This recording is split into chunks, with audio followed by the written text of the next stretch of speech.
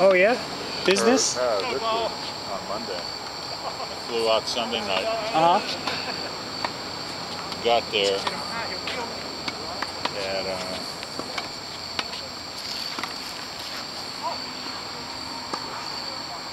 got there at 8:30 8:30 when? AM, PM?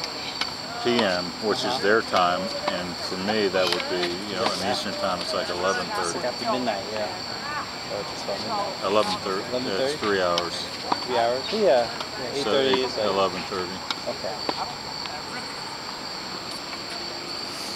Got to, to had uh, interviews Yeah. and.